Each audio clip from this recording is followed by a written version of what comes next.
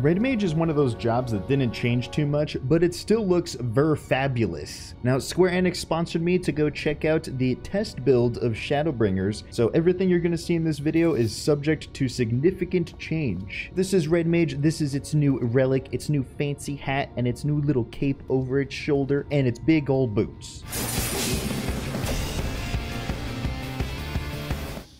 It still has Vercure. That was one of the things I checked right away. Uh, in fact, Vercure has this really cool new ability that it just DCs you. So uh, don't pay too much attention to my bar because I ended up putting double abilities on some places.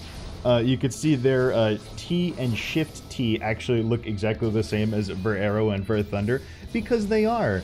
Uh, it turns out that when you go into your melee combo and finish the three of them, Ver Holy and Ver Flare just take over Veraero and Ver Thunder. Alright, so here I'm just to do the uh, melee combo.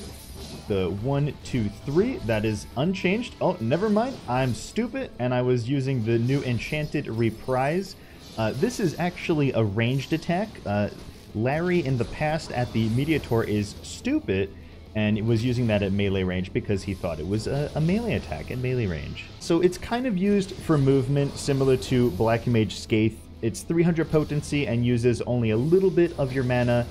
Uh, you could also use it as some kind of like a black and white mana dump if you need to fix it somehow. There's also a new ability you can use instead of displacement. It shares a cooldown timer with it. It's right here, engagement.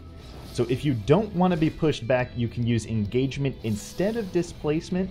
It's a little less potency. I think it was like 50 potency less.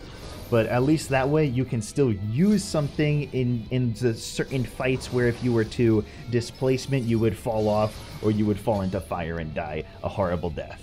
Uh, I think the guy next to me there was Drek. So here I am finally doing the three-part melee combo. You could see Veraero and Ver Thunder were just replaced by Ver Holy and Ver Flare, and now it unlocks my new cool ability, Scorch.